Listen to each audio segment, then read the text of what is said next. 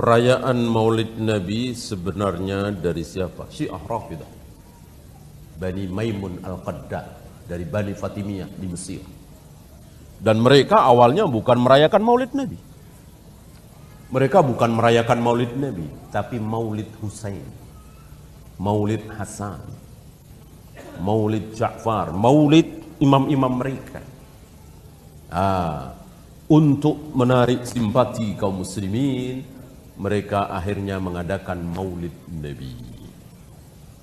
Ini kira-kira akhir abad kedua, akhir abad ketiga, awal abad keempat. Mana mungkin ada kebenaran muncul beberapa abad setelah Nabi wafat.